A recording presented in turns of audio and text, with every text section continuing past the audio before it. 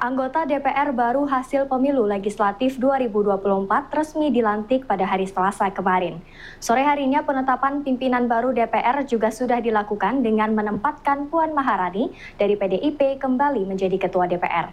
Berdasarkan komposisi dan konfigurasi yang ada, maka mayoritas dari penghuni Senayan ini merupakan pro pemerintah melalui koalisi Kim Plus yang sudah berjalan sejak Pilpres Februari lalu pengamat politik sekaligus dosen FISIP UB.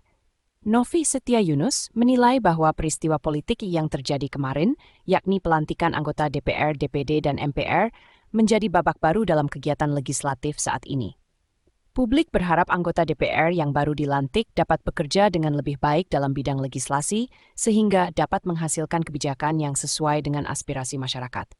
Secara konfigurasi, Novi menilai bahwa mayoritas anggota DPR merupakan pro pemerintah Presiden terpilih Prabowo melalui Koalisi Indonesia Maju plus-nya.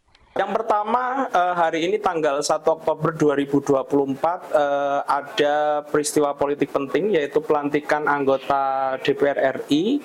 Ya tentu harapan besar ada di DPR yang saat ini untuk meningkatkan kualitas-kualitas eh, pembuatan kebijakan, kemudian menciptakan apa namanya sistem politik yang lebih baik dan sebagainya.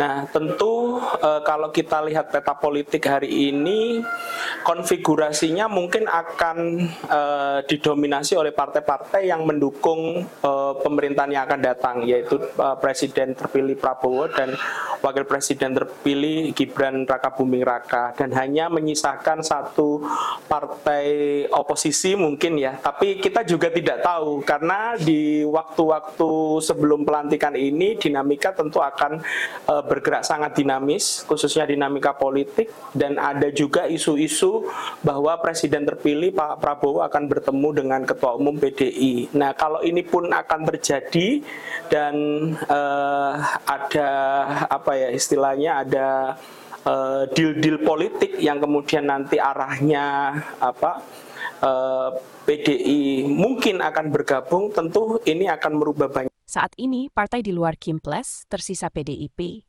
Namun Novi melihat bahwa sinyal pertemuan antara Prabowo dan Megawati dapat merubah peta politik ke depan pasca pelantikan Prabowo pada 20 Oktober mendatang.